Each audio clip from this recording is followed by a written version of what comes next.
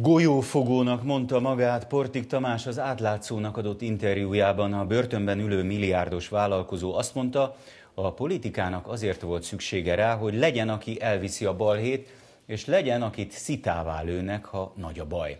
A 11 éves börtönbüntetését töltő férfi szerint az illegális olajpénzek nagyját politikusok tették el. Portik Tamás szerint Pápa Marian, akivel korábban közel álltak egymáshoz, valóságos agytröszt, aki Habony Árpádnak is diktál.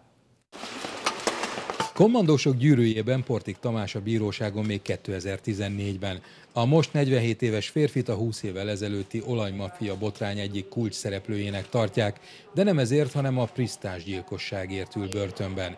A bírói ítélet szerint ugyanis ő lette meg az éjszaka uraként ismert Prisztás Józsefet. A vádat az utolsó szó jogán is tagadta.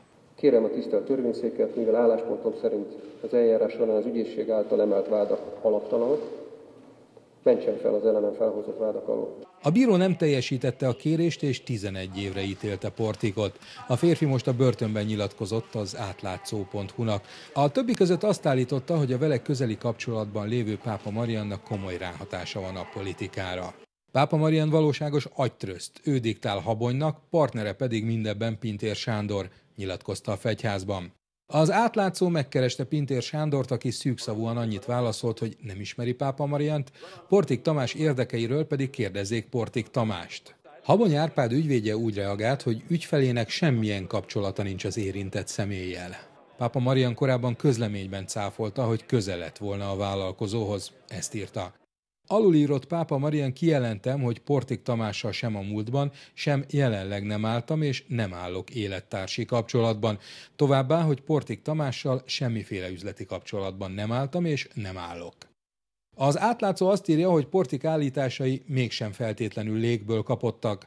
Habony Árpád ugyanis Pápa Marian volt férjének, Szetlik Ferencnek az unokaöccse.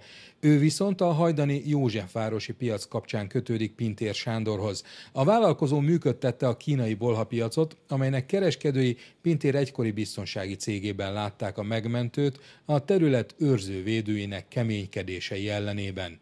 Írja az átlátszó.hu. Az egykori olajvállalkozó szerint az sem véletlen, hogy a bűnözői körök urai hosszú évekig megúzták a felelősségre vonást.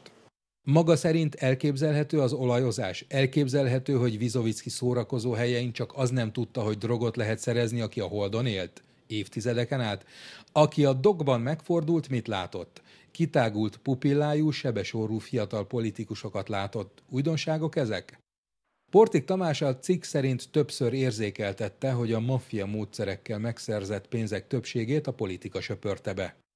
Évi 20-25 milliárd forint forgalomról beszélünk. Hol a pénz maga szerint? A haszon legfeljebb 20-30%-át tehettük zsebre. Golyófogónak hívtam magunkat, mi ülünk, ha baj van, ha még nagyobb, akkor minket lőnek szitává. Az interjúban Portik Tamás arra is utalt, hogy 2011-ben Rogán Antal polgármestersége alatt nem csak a Károly körúti ingatlanhoz jutott hozzá pályáztatás nélkül egy Pápa Marianhoz kötődő KFT, azt viszont nem árulta el, hogy hol van a többi érintett ingatlan.